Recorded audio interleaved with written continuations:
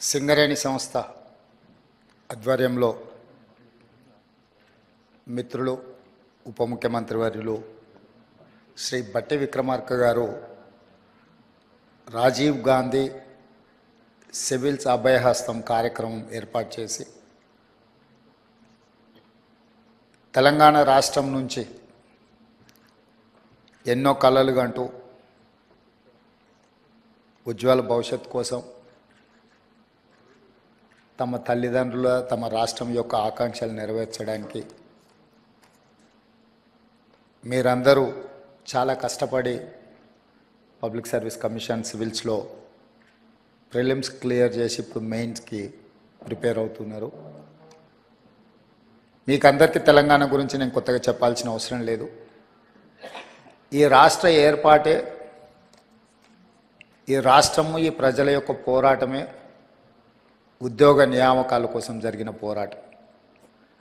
తెలంగాణ అనే పదం ఎప్పుడు వినిపించినా తెలంగాణకు పర్యాయ పదం నిరుద్యోగ సమస్య.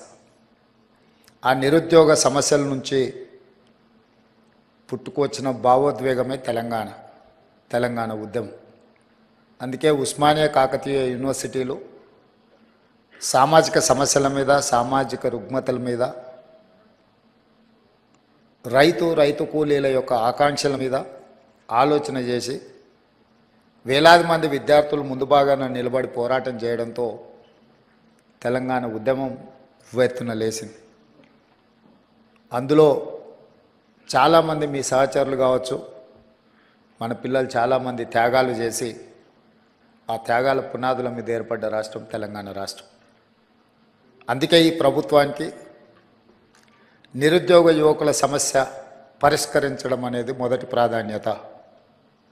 అందులో భాగంగానే డిసెంబర్ మూడు నాడు రెండు వేల ఇరవై మూడు ఫలితాలు వస్తే డిసెంబర్ ఏడు నాడు మేము బాధ్యతలు చేపట్టి తొంభై రోజులలో ముప్పై వేల ప్రభుత్వ ఉద్యోగ ఖాళీలను భర్తీ చేసి ఎవరికైనా అనుమానం ఉంటే లెక్క పెట్టుకోండి అని చెప్పి ఎల్బీ స్టేడియంలో ఎన్నికైన అభ్యర్థులతో పాటు విద్యార్థిని విద్యార్థులు వాళ్ళ తల్లిదండ్రులు వాళ్ళ కుటుంబ సభ్యుల యొక్క కళ్ళల్లో ఆనందం చూస్తూ తొంభై రోజుల్లో ముప్పై వేల ఉద్యోగ నియామక పత్రాలు ఎల్బీ స్టేడియంలో ఎక్కడైతే మేము ఉద్యోగ ప్రమాణం చేసినామో అక్కడే వాళ్ళకు కూడా ఉద్యోగ ప్రమాణం చేయించి ఉద్యోగ పత్రాలు తొంభై రోజుల్లో ముప్పై వేలు ఇవ్వడం జరిగింది.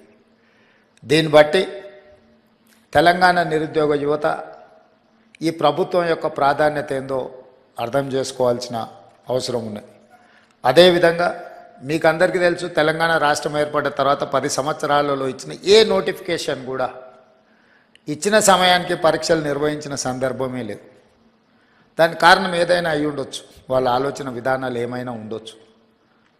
కానీ తీరని నష్టం యుక్త వయసులో ఉజ్వల భవిష్యత్తును ఆలోచన చేసి కోచింగ్ సెంటర్లలో తిరుగుతూ మధ్యతరగతి దిగువ తరగతి కుటుంబాలు తల్లిదండ్రులు కష్టపడి రూపాయి రూపాయి జమ చేసి ఇక్కడికి పంపిస్తే అమీర్పేట్ చౌరస్తాలను దిల్సుఖ్ నగర్లను అశోక్ నగర్లను వివిధ కోచింగ్ సెంటర్ల చుట్టూతో తిరుగుతూ సంవత్సరాల కొద్ది పరీక్షలు వాయిదా పడుతూ సంవత్సరాల తర్వాత పరీక్షలు నిర్వహిస్తే ఫలితాలు వచ్చే లోపల మీరు కష్టపడి చదివిన పరీక్షా కేంద్రాల్లో మీకు ఇచ్చిన ప- మీకు ఇచ్చిన ప్రశ్న పత్రాలు అంతకంటే ముందే జిరాక్స్ సెంటర్లలో పల్లి బఠానీల్లాగా అమ్మినప్పుడు ఆ విద్యార్థుల యొక్క బాధ భావోద్వేగం మేము కళ్ళతో చూసినాం. అర్థం చేసుకున్నాం. అందుకే వచ్చిన ఎంబడే తక్షణమే తెలంగాణ పబ్లిక్ సర్వీస్ కమిషన్ని రద్దు చేసి ఉన్న వాళ్ళందరినీ తొలగించి యూపీఎస్సి చైర్మన్ కలిసి ఎందుకంటే ఇన్ని సంవత్సరాలలో ఎప్పుడు పరీక్షలు నిర్వహించినా యూపీఎస్సి క్యాలెండర్ డేట్స్ ప్రకారము పారదర్శకంగా పరీక్షలు నిర్వహించింది. ఎప్పుడు యూపీఎస్సీ మీద ఆరోపణలు రాలేదు. నిర్వహణలో లోపాలు కనిపించలేదు. అందుకే తెలంగాణ రాష్ట్ర ప్రభుత్వం ముఖ్యమంత్రిగా నేనే స్వయంగా యూపీఎస్సీ చైర్మన్ వాళ్ళ ఆఫీస్కి వెళ్ళి కలిసి అక్కడ మన అధికారులందరినీ చీఫ్ సెక్రటరీ గారితో సహా అందరినీ తీసుకెళ్ళి అక్కడ అధికారులతో సంప్రదించి తెలంగాణ పబ్లిక్ సర్వీస్ కమిషన్ను కూడా కంప్లీట్గా పునర్వ్యవస్థీకరించి యూపీఎస్సీ తరహాలో మార్పులు చేసి ఎంబడెంబడే నోటిఫికేషన్స్ ఇచ్చినాం. ఆ నోటిఫికేషన్లో భాగంగా గ్రూప్ వన్ ప్రిలిమ్స్ కంప్లీట్ చేసినాం. మెయిన్స్కి ఇప్పుడు ప్రిపేర్ అవుతున్నారు. నిన్నటి నుంచి డిఎస్సి పరీక్షలు నిర్వహించడం పదకొండు వేల పై పోస్టుల వాటి పరీక్షలు నిర్వహణ మొదలైంది.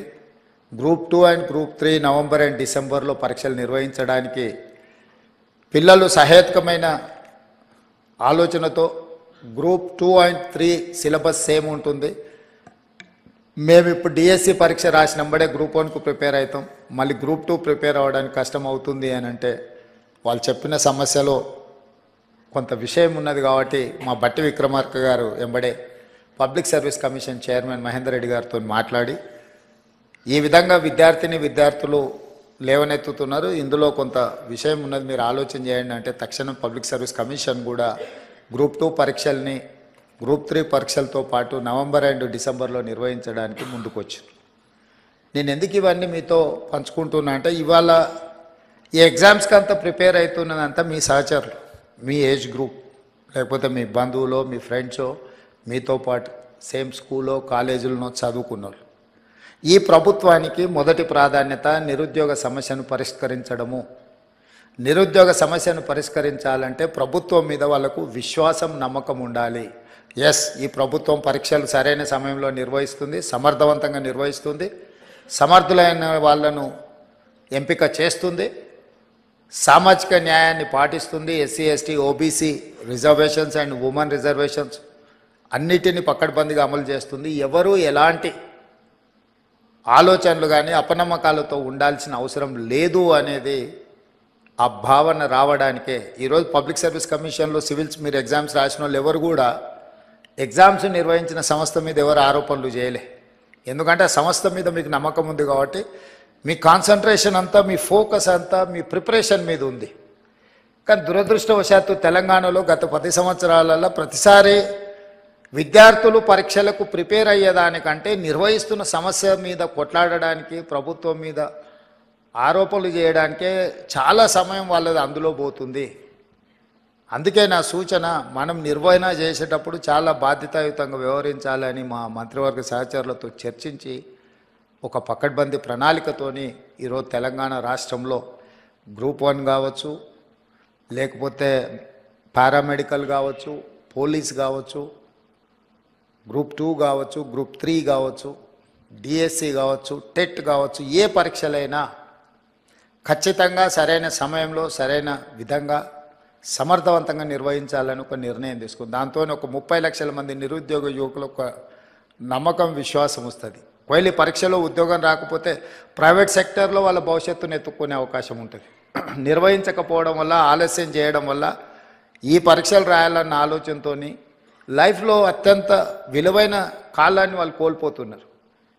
తెలంగాణ రాష్ట్రం వచ్చినప్పుడు ఇరవై ఇరవై రెండు సంవత్సరాలు ఉండి ఎగ్జామ్స్కు ప్రిపేర్ అవుతున్న పిల్లవాడు పది సంవత్సరాలు ముప్పై రెండు ఏళ్ళు వచ్చిన పరీక్షలు రాయలేకపోయినంటే అతని లైఫ్లో అత్యంత విలువ అత్యంత ముఖ్యమైన సమయం కాలం గడిచిపోయింది. పది పన్నెండు సంవత్సరాలు ఒక మనిషి లైఫ్లో నుంచి మాయమైపోయిందంటే అతని ఏజ్ కానీ అతని ఫ్యామిలీ కానీ వాళ్ళ బాధ కానీ ఆ ఎనర్జీ కానీ నిజంగా నిరుపయోగం అవుతుంది దుర్వినియోగం అవుతుంది అందుకే స్పష్టంగా ప్రణాళికబద్ధంగా క్యాలెండర్ డేట్స్ ప్రకారం రేపు అసెంబ్లీలో క్యాలెండర్ డేట్స్ కూడా డిక్లేర్ చేసి రాష్ట్ర ప్రభుత్వంలో వచ్చే ప్రతి ఖాళీలను థర్టీ ఫస్ట్ మార్చ్ లోపల అన్ని శాఖల నుంచి తెప్పించుకొని జూన్ సెకండ్ లోపల నోటిఫికేషన్లు ఇచ్చి by December ninth every year ఎన్ని ఖాళీలు ఉన్నా భర్తీ చేసి వాళ్ళ నియామక పత్రాలు వాళ్ళ చేతికి అందించాలని మన ప్రభుత్వం నిర్ణయం తీసుకున్నది. ఈరోజు మిమ్మల్ని ఇక్కడికి పిలిచి మేమందరం కంప్లీట్ మంత్రివర్గం మామూలుగా మా బలరాం నాయక్ సింగరేణి అధికారులను బట్టి విక్రమార్క గారు చెప్పి వాళ్ళ ఆఫీస్లో కూడా మిమ్మల్ని పిలిచి చెక్లు ఇచ్చి పంపించి ఉండొచ్చు కానీ మెకానికల్గా మేము ఆ job చేయదలుచుకోలే. This is personal attachment we wanted to encourage our students we wanted to encourage our kids why because we have depended on youth so మిమ్మల్ని అందరినీ ప్రత్యక్షంగా ఇక్కడికి పిలిపించి మిమ్మల్ని కలిసి ఈ మేము ఇచ్చే ఈ టోకెన్ మీ అవసరాలను పూర్తిగా తీరుస్తుందని నేను చెప్పను. కాకపోతే మీకు ఒక నమ్మకం కలుగుతుంది. ఎస్ తెలంగాణ ప్రభుత్వం మాతో ఉంది మమ్మల్ని గుర్తించింది. మిమ్మల్ని గుర్తించడం ద్వారా లక్షలాది మా విద్యార్థులకు ఒక సందేశాన్ని పంపదలుచుకున్నది మా ప్రభుత్వం. ఎస్ మీరు కష్టపడితే ఈ ప్రభుత్వం మిమ్మల్ని పిలిచి పర్సనల్గా కలుస్తుంది మిమ్మల్ని అభినందిస్తుంది మీ భుజం తడుతుంది అని ఒక సందేశాన్ని ఇవ్వడం కోసం రాష్ట్ర ప్రభుత్వం మంత్రివర్గం అంతా కదిలొచ్చి ఇదే మంత్రివర్గ సమావేశం కాదు మీ స్టూడెంట్స్కి ఇచ్చే చిన్న ఏమంటారు గెష్. అయినా ఎందుకు ఇంతమంది మంత్రివర్గ సహచరులందరినీ ఈరోజు ఈ వేదిక మీద కూర్చోబెట్టినామంటే మీ ద్వారా తెలంగాణ రాష్ట్రంలో ఉన్న నిరుద్యోగ యువకులకు ఒక నమ్మకం విశ్వాసం కల్పించాలనేది మా ఆలోచన. ఇది మా బాధ్యత. మా బాధ్యత నెరవేర్చుతున్నాము అని నెరవేర్చడమే కాదు నెరవేర్చినట్టు కనిపించాల్సిన బాధ్యత కూడా ప్రభుత్వాల మీద ఉంటుంది. అందుకే ఈరోజు మిమ్మల్ని అందరినీ ఇక్కడికి పిలిచి సింగరేణి సంస్థ ద్వారా మీ చదువులకు అంతో ఇంతో సహాయం అవుతుంది. ఇందులో చాలామంది డబ్బులు అవసరం లేని వాళ్ళు కూడా ఉండి ఉండొచ్చు.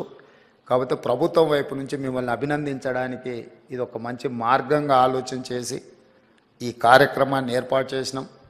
తప్పకుండా ఇక్కడికి వచ్చిన నలభై ఒక్క మంది విద్యార్థిని విద్యార్థులు అందరికందరూ సెలెక్ట్ అయి మళ్ళీ టాప్ ర్యాంక్ తీసుకొని తెలంగాణ స్టేట్కే తెలంగాణ ప్రజలకే మన వాళ్ళకే సేవ చేయడానికి ఇక్కడ సర్వీస్లో జాయిన్ అవుతారని ఆశిస్తూ కష్టపడండి. మీరందరు సిస్టంలో ఉంటే మన వాళ్ళు ఎంతసేపు నా స్టేట్ లెవెల్ ఎగ్జామ్స్కే ప్రిపేర్ అయ్యేది? మన మైండ్ సెట్లో అది ఒక మెంటల్ బ్లాక్ ఉంది మన స్టూడెంట్స్కి. మీరు బీహార్ రాష్ట్రాన్ని తీసుకోండి రాజస్థాన్ తీసుకోండి. ఆల్ ఓవర్ ఇండియాలో సివిల్ సర్వీసెస్లో వాళ్ళు ఉన్నంత మంది ఆఫీసర్లు ఎవరు ఉండరు. మరి మోస్ట్ బ్యాక్వర్డ్ స్టేట్ అంటారు బీహార్. మోస్ట్ బ్యాక్వర్డ్ స్టేట్ నుంచి ఇంతమంది ఐఏఎస్లు ఐపీఎస్లు ఐఎఫ్ఎస్లు అదర్ పబ్లిక్ సర్వీస్ కమిషన్ నుంచి వచ్చే పెద్ద పెద్ద ఉద్యోగాలలో ఎందుకు సెలెక్ట్ అవుతుందంటే వాళ్ళంతా ఫోకస్ పెట్టి జాతీయ స్థాయిలో ఉండే ప్రతి అవకాశాన్ని అందుకోవాలని వాళ్ళు ప్రయత్నం చేస్తున్నారు. బ్యాంకింగ్ సిస్టమ్ కూడా చూడండి.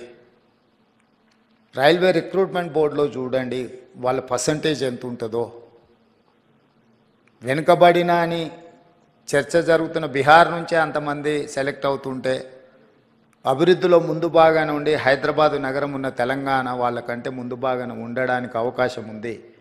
కాకపోతే అవకాశాలను అందిపుచ్చుకొని మనం ఫోకస్డ్గా ఎగ్జామ్స్కు ప్రిపేర్ అయితే సాధించవచ్చు. మీరందరూ ఆ సర్వీస్లలో ఉంటే తెలంగాణకి ఎక్కడున్నా కూడా సహాయం చేయడానికి ఉపయోగపడతారు. ఈ రాష్ట్రానికి అవసరమైన నిధుల కోసం కేంద్ర ప్రభుత్వాలతో ఇతర రాష్ట్రాలతో సంప్రదింపులు జరిపే ముందు ఏదైనా నివేదికలు ఇచ్చే ముందు మీలాంటి వాళ్ళు దేశంలో నలుమూలల ఐఏఎస్ అధికారులుగాను ఐపీఎస్ అధికారులను ఇతర ఉన్నత అధికారులుగా ఉంటే మన రాష్ట్రానికి మనం చాలా చేయడానికి అవకాశం ఉంటుంది. మీ భవిష్యత్తే కాదు మీ గెలుపులో రాష్ట్ర భవిష్యత్తు కూడా ఉన్నది. మీరందరు సెలెక్ట్ కావాలని మనస్ఫూర్తిగా మిమ్మల్ని అభినందిస్తూ ఇంత మంచి కార్యక్రమాన్ని ఏర్పాటు చేసిన సింగరేణి సంస్థలకు ఈ కార్యక్రమంలో పాల్గొన్న మా మంత్రివర్గ సహచరులకు పార్లమెంట్ సభ్యులకు శాసన మండలి సభ్యులకు ముఖ్యంగా సింగరేణి ప్రాంత శాసనసభ్యులు అందరికీ మా చీఫ్ సెక్రటరీ గారికి మా అధికారులందరికీ కూడా మనస్ఫూర్తిగా అభినందనలు ధన్యవాదాలు తెలియజేస్తూ సెలవు తీసుకుంటున్నాం మిత్రులారా. Thank you sir.